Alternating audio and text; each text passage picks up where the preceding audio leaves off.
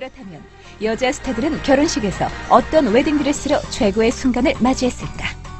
여자 스타들이 선호하는 드레스로 대표적인 브랜드는 오스카 드 라 렌타가 있고요. 어, 고소영 씨가 입었던 그 이전에는 송윤아 씨, 추상미 씨가 입어서 많은 신부들이 사랑하게 됐습니다. 최근 여자 스타들에게 가장 많은 사랑을 받고 있는 웨딩드레스는 디자이너 오스카 드 라 렌타의 작품.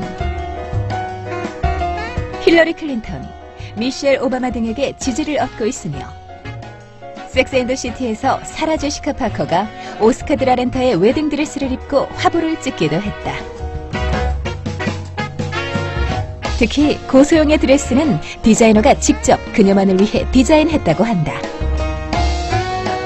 4명의 장인들이 40시간 동안 300m의 원단을 사용해가지고 한 땀 한 땀 그 스커트에 장식된 플라워를 자- 만들었다고 알려지고 있거든요. 뭐 가격을 말할 수 없지 않을까. 디자이너 베라 왕의 웨딩드레스 또한 여자 스타들의 워너비 드레스.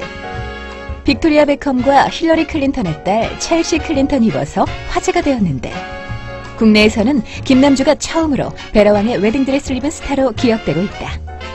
몸매가 다 드러나도록 좀 어떻게 보면 파격적인 드레스이기도 한데 그 이후로 신부들이 슬림하고 그리고 좀 과감하게 앞에 가슴과 등이 파인 드레스를 많이 선호하고 있어요. 앞에 두 디자이너보다 살짝 화려한 웨딩드레스를 입고 결혼식을 올린 손태영과 신애. 그녀들은 프로젝트 런웨이 출신의 오스틴 스칼렛이 디자인한 2천만 원 상당의 웨딩드레스를 입었는데 자수나 레이스, 비즈 등을 최대한 활용해 여성의 몸매를 부각시키고 화려하게 보이는 디자인이 특징이다.